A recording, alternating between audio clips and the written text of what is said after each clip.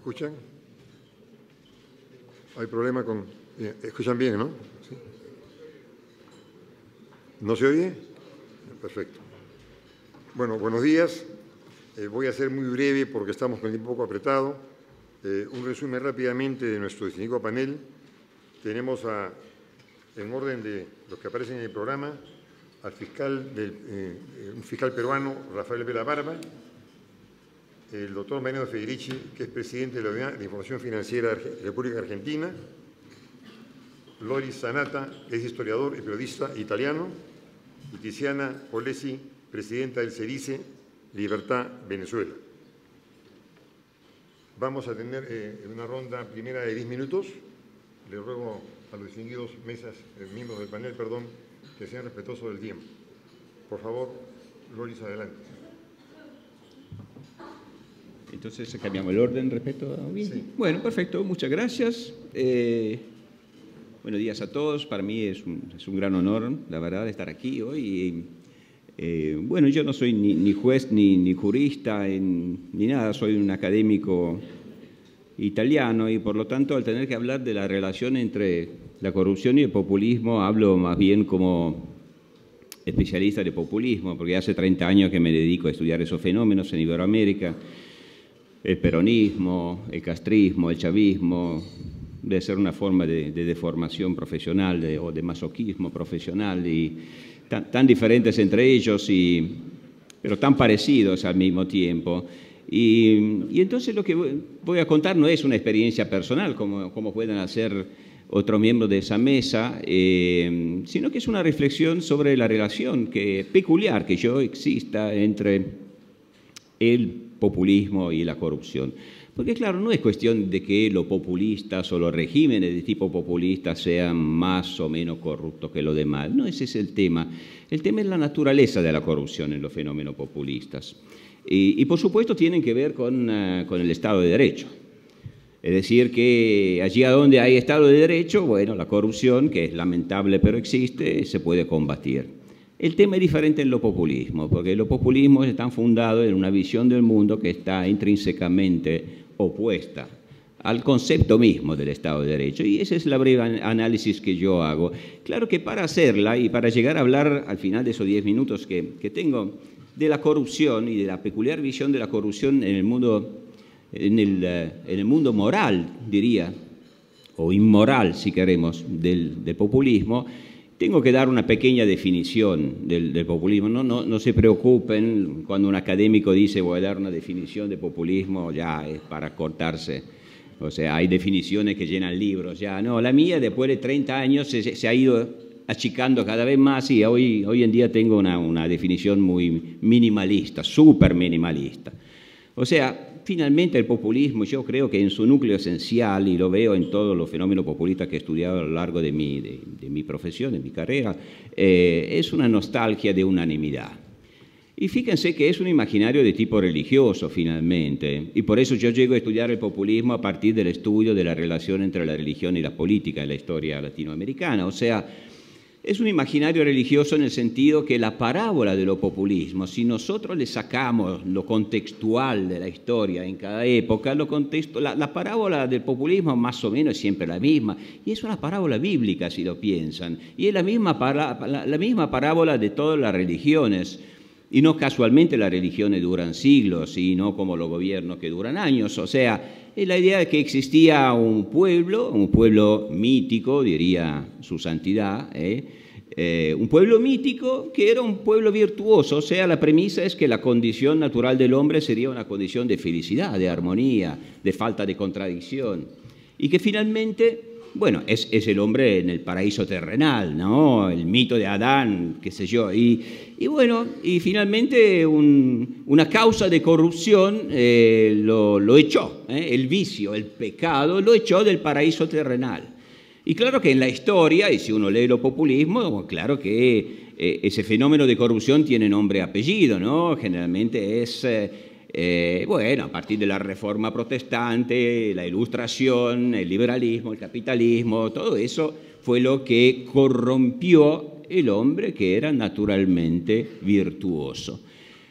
Y bueno, y en ese sentido, entonces el fenómeno populista es un fenómeno de redención, ¿no? Enrique Krauss escribió mucho sobre los redentores y todos esos fenómenos de que estamos hablando, los populismos, son fenómenos redentivos, finalmente escatológicos, finalmente la idea de que el líder populista tiene la oportunidad y por eso es un redentor, efectivamente, y juega el rol del redentor, no importa que sea un redentor efectivamente religioso, en Iberoamérica generalmente sí se apela al imaginario de la religión antigua, de la antigua cristiandad, pero generalmente es un fenómeno secularizado, o sea, es una forma de crear religiones políticas, por lo cual toma de la mano el pueblo, un pueblo mítico, un pueblo que se supone que es un pueblo virtuoso si algo no lo hubiese corrompido y lo acompaña hacia dónde. Bueno, no le promete una mejoría o una reforma de su existencia, no le va a decir te doy un poco más de ocupación, te ayudo a emanciparte, te, te doy la posibilidad de ser un hombre más realizado en tu capacidad, no,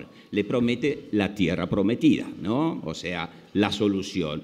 Como decía eh, yo, me hago un poco de publicidad, acabo de escribir una biografía de Fidel Castro que no casualmente se va a titular El último rey católico, porque efectivamente si uno analiza el estado teocrático de los jesuitas en las misiones del siglo XVII y mira lo que intentó, intentó crear Fidel Castro, llama la atención, parece que los siglos no, han pasado, es la misma, el mismo concepto que lo encontramos en Hugo Chávez, por supuesto, que existía en Eva Perón, más que en Juan Perón, para decir la verdad, en el levitismo. Bueno, todo eso es una idea eh, redentiva, redentiva. Yo, decía Fidel, decía Fidel Castro, he creado el Estado perfecto. O sea, no, más o menos bien, el Estado perfecto. Ahora, Claro que esa idea de la perfección tiene que ver con la corrupción y con la peculiaridad de la corrupción en los casos del populismo. Porque si de verdad este es el imaginario populista, entonces, ¿dónde triunfan los populismos? Bueno, lo que los populismos eh, piensan haber realizado y están convencidos de haber realizado, ¿qué es? Es una comunidad de fe, es el paraíso terrenal, efectivamente. Ahora, en el paraíso terrenal, la idea de un crimen. En el Estado de Derecho un crimen, la corrupción, es ilegalidad, es falta a la ley, es violación de la rule of law. ¿eh? Pero no, en el imaginario de tipo redentivo del populismo, la corrupción eh, es un pecado. Es un pecado finalmente. O sea, no tiene que ver con la ética de la responsabilidad, no tiene que ver con la ética de la legalidad, tiene que ver con la ética de la culpa y del perdón. Y eso cambia mucho las cosas y hace que sea mucho más difícil combatir la corrupción en los casos de populismo, porque los populismos no aceptan controles. Como decía siempre el viejo Fidel, eh, decía, bueno, aquí no va a llegar nunca la famosa separación de los poderes del famoso Montesquieu. Y tenía razón, porque efectivamente no llegó nunca, y los casos que estamos viendo hoy, Nicaragua, Venezuela, en cierta medida pasó en el pasado en Ecuador también, bueno, la primera cosa que intenta hacer el populismo en nombre de ese pueblo mítico es efectivamente eliminar la separación de poderes, la falta de controles. Entonces, si esto pasa, em, a esa altura, ¿qué, ¿qué, pasa con la corrupción? Bueno, en realidad no depende más de la ley, depende de la cercanía o de la lejanía de la fe, de la fuente de la fe. O sea, el límite, la frontera entre legalidad e ilegalidad termina casi desapareciendo, porque en realidad lo que determina la posibilidad de punir, de, castigar la corrupción, es una cuestión de fidelidad, de fidelidad ideológica, política, religiosa al régimen de turno. Y atención, porque por lo que vi en mi experiencia en los fenómenos populistas, al desaparecer esa línea clara entre la legalidad y la legalidad, porque todo eso depende de la fidelidad o infidelidad a la nueva religión eh, del populismo, bueno, eso determina una extraordinaria inseguridad jurídica. Y eso determina pasividad, conformismo, obediencia entre la población y miedo, por supuesto, y miedo. Eh, entonces, si es así, yo creo que... Eh, el tema de, la, eh, de la corrupción en los regímenes populistas no se da de la forma en que se da en los fenómenos digamos, de democracias frágiles, mal institucionalizadas. Les hago un ejemplo, los amigos argentinos lo conocen seguramente mejor que yo, eh, pero que son esos ejemplos que hablan mucho más de, infinitas teorías. Hace pocos días, un juez argentino, que fue juez eh, constitucional, si recuerdo bien, durante la época kirchnerista, el juez Zaffaroni, em, muy vinculado al kirchnerismo, para decir la, forma de pensar la corrupción y la ley por parte de eh, un imaginario populista. Em, declaró que, bueno, finalmente toda sentencia es una sentencia política. Y, siguió con una, actitud muy militante, ¿no? Y sigue la lucha, dijo, con la idea de volver al poder y aplicar esa curiosa teoría, efectivamente, de, la justicia, ¿no? Eh, y bueno, imagínense usted, eh, si voy terminando, soy el final. Eh, imagínense usted, ustedes sentarse frente a un juez que tiene esa idea de la justicia, es como estar sentado frente a Torquemada mismo, o sea, no, hay manera de, de zafar. Ahora, lo peor es que esa, esa sentencia el, juez la dijo en el Vaticano, en una reunión convocada por Papa Francisco, y apareció en todas las fotos del mundo, en todos los diarios del mundo, abrazado con el Papa Francisco, después de haber dicho una bestialidad como esa. Eh, bueno, el tema es eso precisamente, que en la visión de populismo, y esa es la frase final, ya lo dejo, termino, la justicia no es un elemento de control del poder, sino que es un instrumento del poder, es un instrumento de moralización de parte de un poder que por lo tanto es concebido como un Estado ético y que quiere monopolizar y homogeneizar el pueblo, el pueblo en sentido populista. Muchas gracias.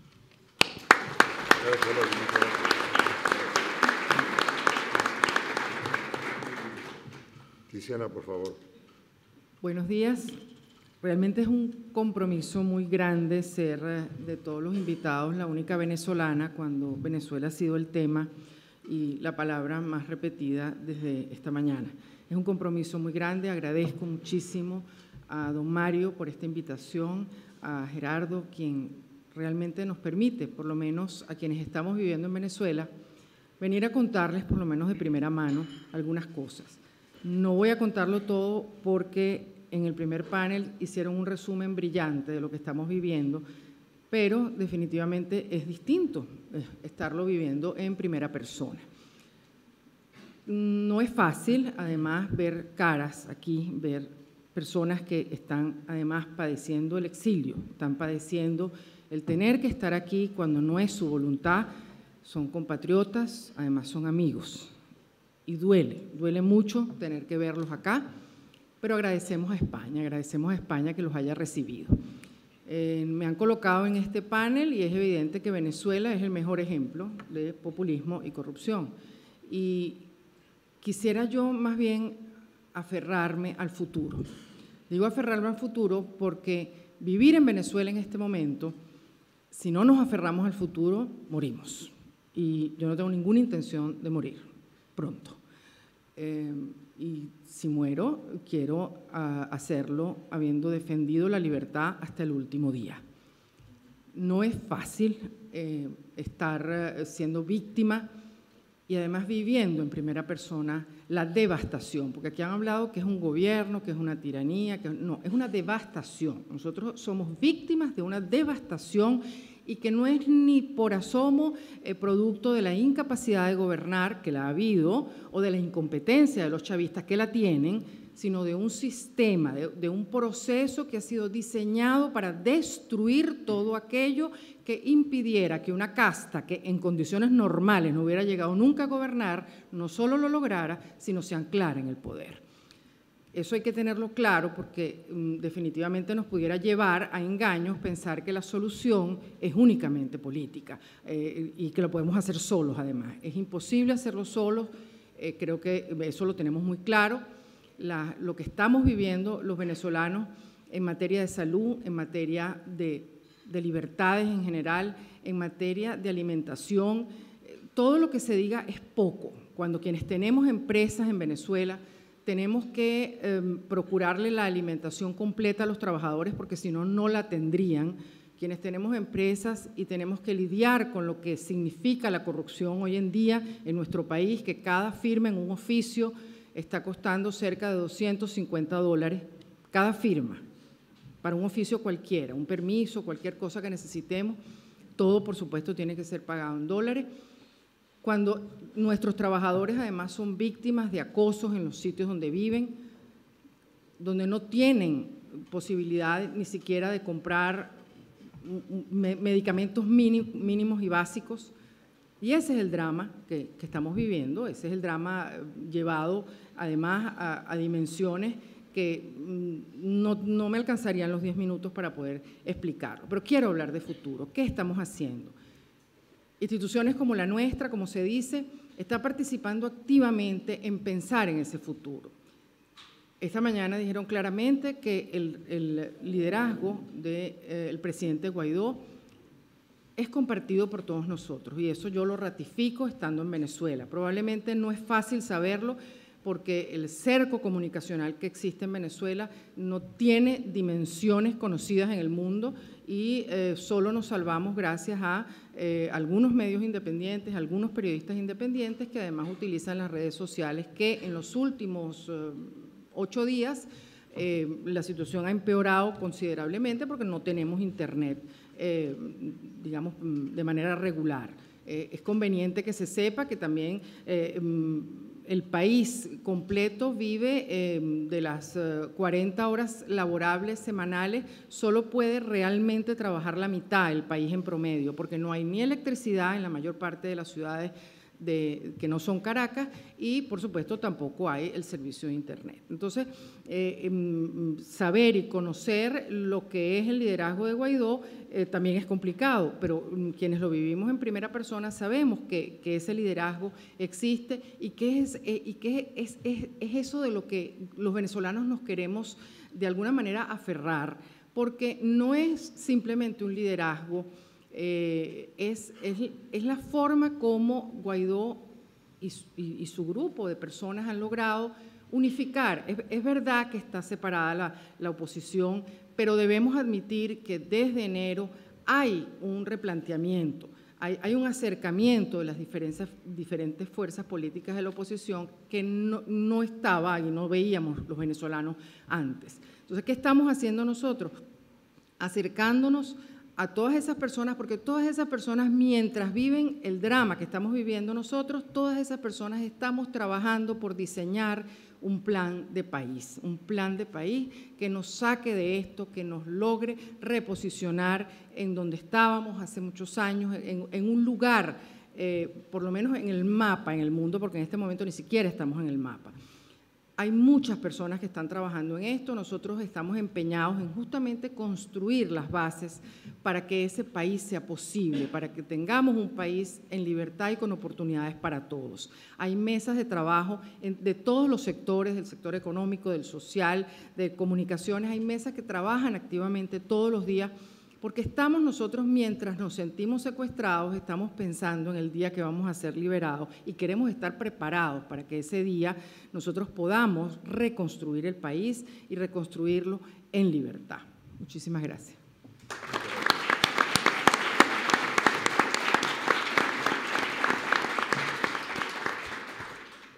Bueno, como, como peruano me voy a tomar una pequeña libertad para hacer un comentario del siguiente eh, miembro del panel.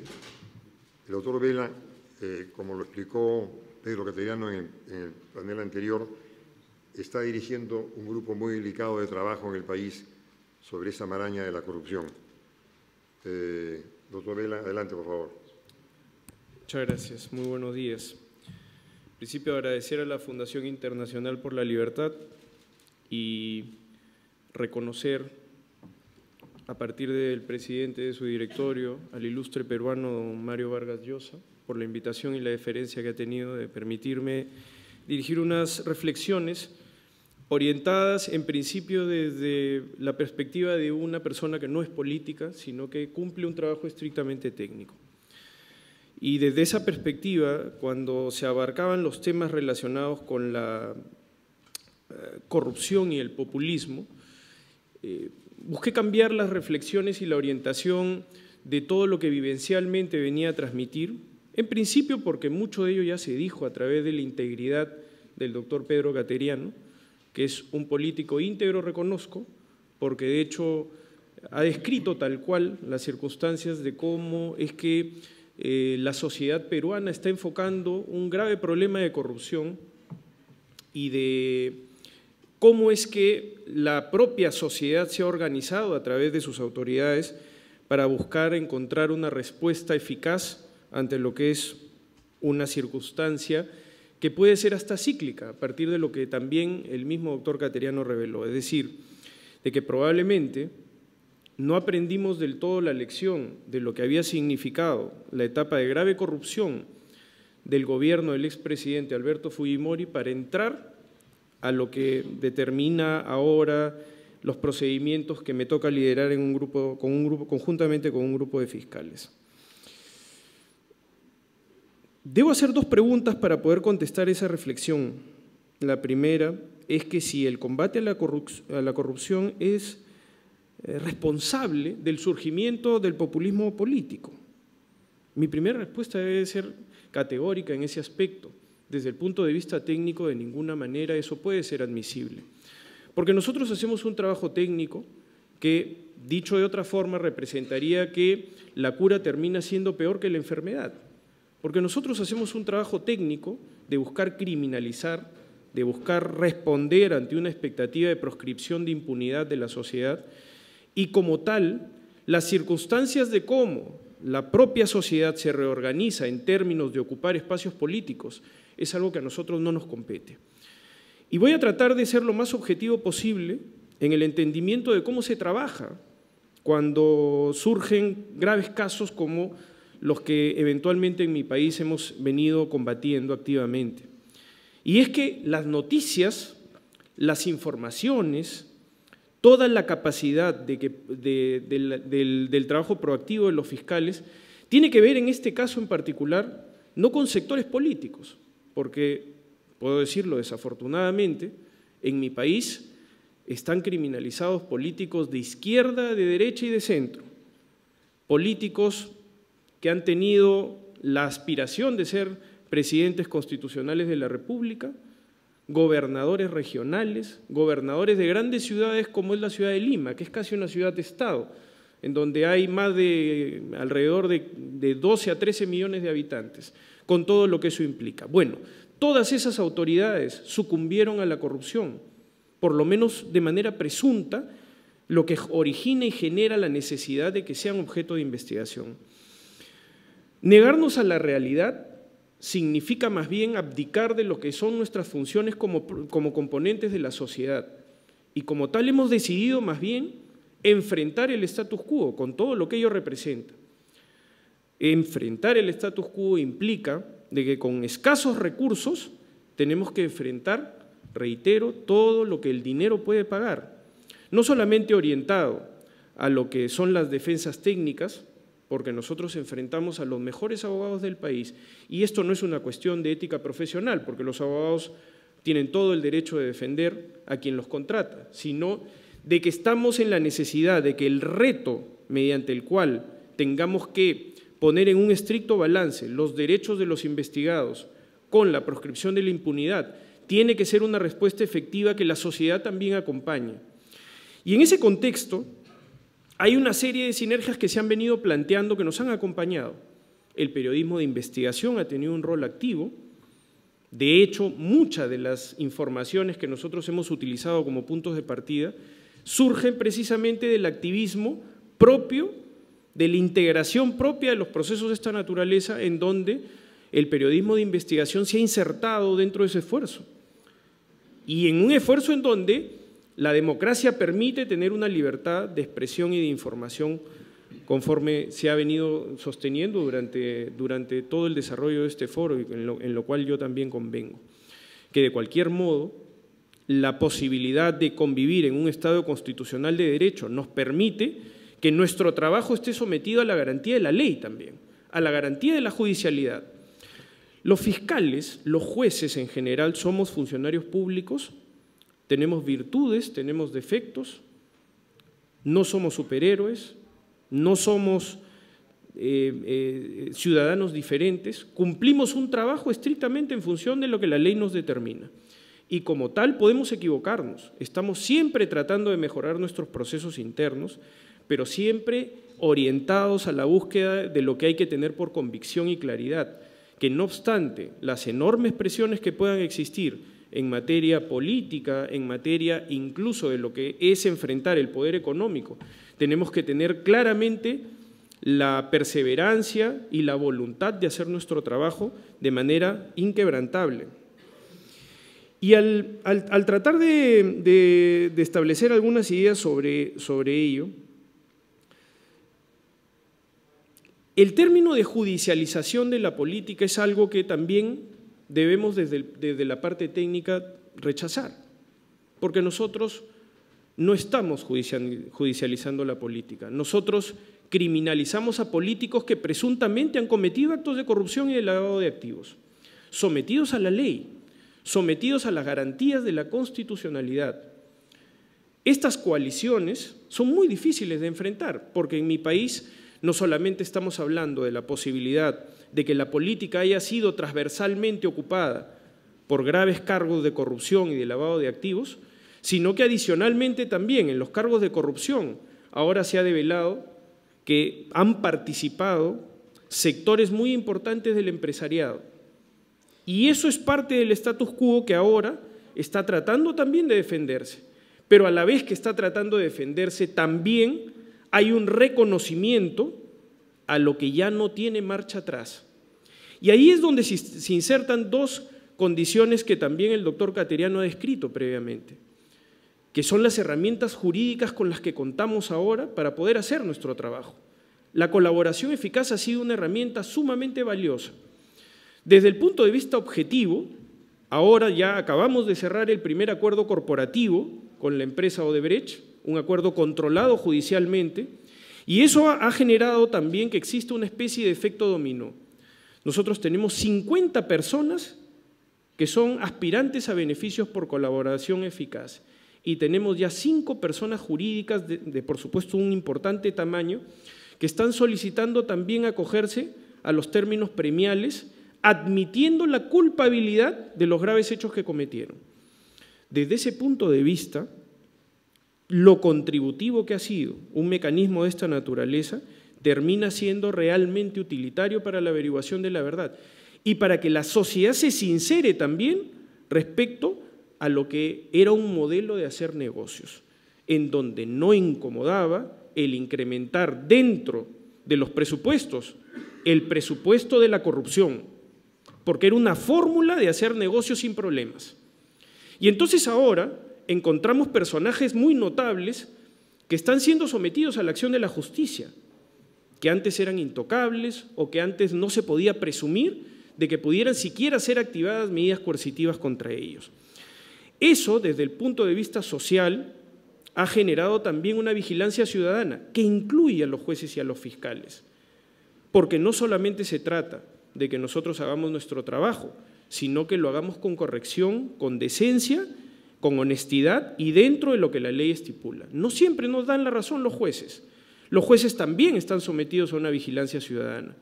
El periodismo de investigación ha hecho de que hayan convergido de alguna manera dos grandes casos en el Perú, el caso Lavajato y el llamado denominado caso Lavajuez, donde una serie de escuchas telefónicas revelaron grave corrupción a nivel de los órganos de administración de justicia fiscal y judicial.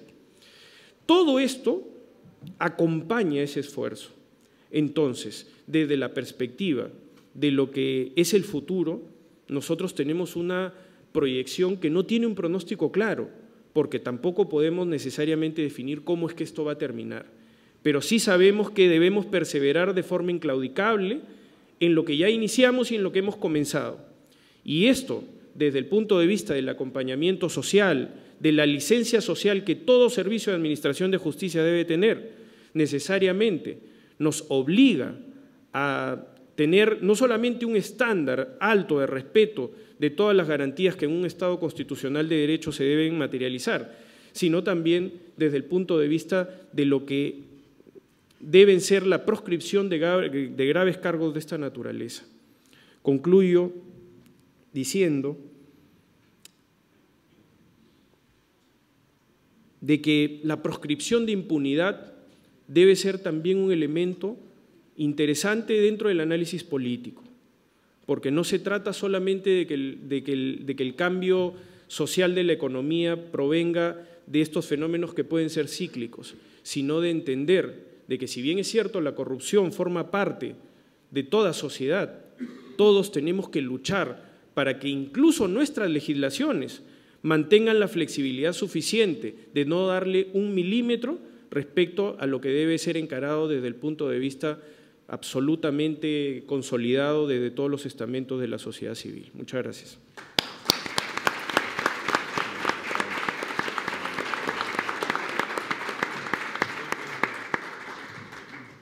Mariano, por favor, adelante. Bueno, muchas gracias. Muchas gracias a Mario, a mi amigo Gerardo por la, invitación. Un honor estar aquí. Simplemente antes de empezar, aclarar que presido una unidad eh, que es autónoma y operativamente independiente del gobierno argentino, por lo tanto, mis opiniones no representan necesariamente las del gobierno nacional. Tampoco tengo registrados los derechos de autor, así que pueden hacerse de ellas. Este, pero bueno, eh, Argentina está, a, mi juicio, atravesando uno de los procesos más reveladores de, su historia en materia anticorrupción, ya que la, matriz corrupta que imperó en la administración de la cosa pública y en los grandes negocios con el Estado ha quedado hoy expuesta de una manera irrefutable, en parte, al igual que en otros países, gracias a la legislación que adoptó la figura del arrepentido o de la delación premiada, impulsada en Argentina por el actual gobierno del presidente Macri. El exponente más obsceno de estas revelaciones es, sin lugar a dudas, el kirchnerismo. En efecto, los fallos de los jueces federales que investigan la corrupción permiten constatar que entre los años 2003 a 2015 el país estuvo gobernado por una verdadera asociación ilícita, liderada por quienes detentaron las más altas magistraturas del poder y dedicada al saqueo del Estado argentino. ¿Suena duro? Por supuesto que, sí, lo es mucho más para un argentino, pero es así como lo expresan los jueces sin medias tintas. La expresidenta Cristina Fernández se encuentra procesada en 14 causas penales por delitos varios como administración fraudulenta en perjuicio de la administración pública, asociación ilícita, lavado de activos, cohecho, abuso de autoridad, traición a la patria y hasta robo de documentos históricos, ya que en uno de los allanamientos a su domicilio se encontró el original, entre otros documentos, el original de una carta de San Martín a O'Higgins, sustraída del Archivo General de la Nación. Además, tiene siete pedidos de detención, los cuales no han podido hacerse efectivos únicamente porque la misma goza de fueros parlamentarios y el Senado de la Nación se ha negado a tratar su desafuero en ausencia de una condena firme, con interpretaciones debatibles sobre la ley de fueros. El caso de Cristina no es el único. Su ex vicepresidente, Amado Boudou, ha sido condenado y ya se encuentra en prisión por haberse querido quedar con la fábrica de hacer billetes en Argentina. Eh, el examen de las causas nos permite constatar que la corrupción fue realmente de tipo estructural, sistémica, y atravesó prácticamente todas las políticas de Estado, la de obra pública, la del transporte, la energética, la de acción social, la de los derechos humanos, pero incluso políticas como las del deporte y la cultura, entre otras. Para cada una de las políticas públicas importantes del Gobierno existe al menos una causa penal que explica el aprovechamiento de la misma para fines personales. Como todo régimen populista, el kirchnerismo concibió el ejercicio del poder como un derecho propio, rechazando la alternancia y persiguiendo la permanencia indefinida. Y fueron las reservas morales, creo yo, de la, sociedad argentina las que impidieron en 2015 que ello se concretara y que el país se convirtiera, con el perdón, en una Venezuela más, ya que, eh, sin lugar a dudas, hacia ese lugar nos encaminaban. Mientras ejercieron el poder, fueron por todo, como ellos se prometieron mutuamente eh, y lograron francamente quedarse con bastante. En el camino, sin embargo, se encontraron con claros desafíos impuestos por la propia República y la Constitución argentina, que es de corte netamente liberal, con controles y contrapesos al poder, sin duda fuerte, que eh, Alberdi concibió para el presidente. Es por eso que ellos los populistas aborrecen la República y las constituciones liberales, y es por eso que hoy hablan en nuestro país de la necesidad de una reforma de la Constitución donde el Poder Judicial se convierta en un servicio a la ciudadanía. Como decía Loris, creo eh, que ellos reconocen únicamente en las mayorías populares, sometido al control de un Ejecutivo aún más fuerte. De más está decir que de concretarse este experimento, eh, creo que experimentaríamos los argentinos la muerte del Poder Judicial como garante final de nuestra Constitución. Todo mecanismo o institución que ejerza algún viso de control genera pánico en la concepción populista. Desprecian los controles internos y la autonomía de los organismos modernos de control. Rechazan también el control internacional, la estandarización de conductas y las revisiones externas independientes que en el mundo globalizado en el que vivimos ejercen también una capa de control adicional restringiendo el uso, el ejercicio arbitrario del poder. Por eso es que eh, Néstor Kirchner echó de la escena en su momento al FMI y, sustituyó la fuente de financiamiento barato que el FMI aportaba por un pacto financiero corrupto y descomunalmente más caro con el, con el chavismo. Los populismos fustigan los conceptos de Estado de Derecho y de seguridad jurídica. Miren, el ex ministro de Economía de los Kirchner, que es actual candidato a gobernador de la provincia de Buenos Aires, el señor Axel Kichilov, en el Congreso de la Nación, llegó al extremo de referirse a la seguridad jurídica como, entre comillas, un concepto horrible, pergeniado por la comunidad de negocios que no debiera inquietar demasiado a los hombres de gobierno. A la luz de los acontecimientos, creo que se entiende por qué rechazan el concepto liberal de imperio de la ley por sobre el de la voluntad del hombre. Es porque la ley exige razonabilidad y restringe el manejo arbitrario de la cosa pública. La ley impide la posibilidad de vivir de lo ajeno, ideal que el kirchnerismo cultivó y que hoy promueve, aunque condicionándolo a que sea con códigos, según lo expresara recientemente el secretario de Comercio, el ex secretario de Comercio Exterior, Guillermo Moreno. Ellos intentaron, pero no llegaron a concretar el sueño de derrumbar la República Liberal. En el camino se robaron todo, pero los resortes institucionales terminaron funcionando y fue quedando de a poco revelada la verdadera cleptocracia que a mi juicio protagonizaron. Hoy el kirchnerismo es oposición al gobierno y persigue con astucia la recuperación del poder. No voy a entrar en elucubraciones políticas porque no es mi, mi trabajo, pero desde nuestra mirada creemos que se trata para ellos de una cuestión de supervivencia. La recuperación del poder permitiría en su, visión retorcida de la institucionalidad asegurarles la conquista de la impunidad y ese es el objetivo central que a nuestro juicio persiguen. La estrategia de defensa por la vía del derecho ya no les alcanza y es por eso que hoy se concentran en obstruir las acciones de la justicia argentina, sembrando temor entre los jueces a quienes preanuncian también su venganza de manera pública y abierta. Atacan las acciones de la justicia calificándolas de guerra jurídica, lawfare le llaman, y financian operaciones de inteligencia y campañas mediáticas tendientes a desacreditar todas las investigaciones en su contra. Pero quisiera hacer una reflexión también sobre el rol que tuvieron también en nuestro país los empresarios, porque los Kirchner no operaron solos y como el tango se baila de a dos, es importante entender también la responsabilidad que tuvieron los empresarios que por codicia participaron de esos esquemas corruptos, llenándose los bolsillos de manera ilícita con el dinero de los argentinos. Muchos de esos empresarios también se llenaron la boca durante años criticando al populismo y defendiendo la economía de mercado en foros locales e internacionales como estos.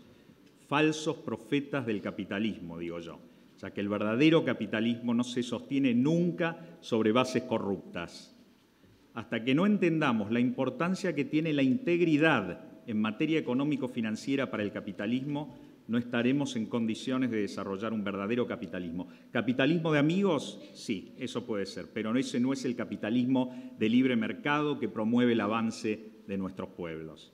La integridad es un pilar fundamental de la estabilidad macroeconómica, el crecimiento y el desarrollo, y la falta de integridad mina la seguridad jurídica y el Estado de Derecho, pero también altera indefectiblemente las reglas de la sana competencia. ¿Por qué? porque le permite prosperar a los más corruptos, dejando afuera a los innovadores, a los emprendedores y a todos aquellos que pretendan obtener beneficios fruto de su creatividad y su esfuerzo en el marco de la ley.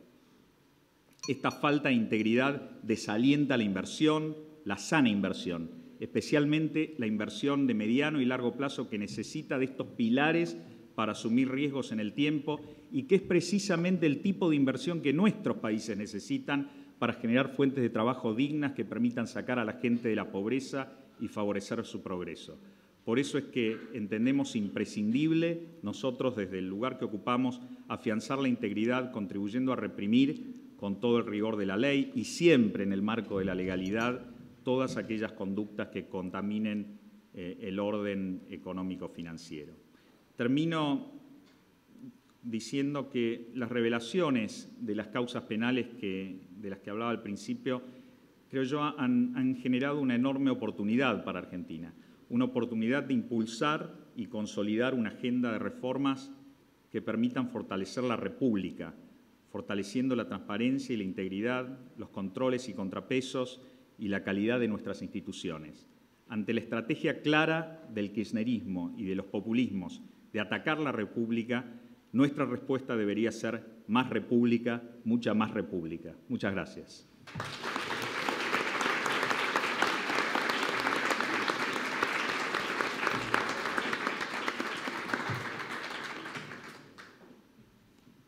Realmente no tengo tiempo para una segunda vuelta. Estamos, quiero, volando. Imposible. Bueno, qué lástima, porque realmente me ha tocado moderar un panel de lujo. Me hubiera encantado tener por lo menos unos 15 minutos más con ustedes. Eh, además de agradecerles, quiero dejar un mensaje, si es posible, para el próximo panel sobre un tema que hubiera querido tratar en este panel, ¿no? que es el tema del daño que viene haciendo los países nuestros, el tema del narcotráfico y en el caso de Perú, el tema de la minería ilegal. Eh, y un tema adicional es que, además del tema solidario con Venezuela, también tenemos un interés personal los peruanos en el tema de Venezuela, igual que los colombianos. Porque todos sabemos que Colombia está hoy infiltrada por el dinero de Maduro moviendo a los campesinos contra el presidente Duque. Es una venganza casi de tipo personal. Y se sabe también que el próximo país que ellos quisieran que cayese es justamente Perú. Quizás un mensaje para el próximo panel, si lo pueden tratar, porque al fin y al cabo se trata de los grandes desafíos de la democracia en Iberoamérica. Muchísimas gracias. gracias.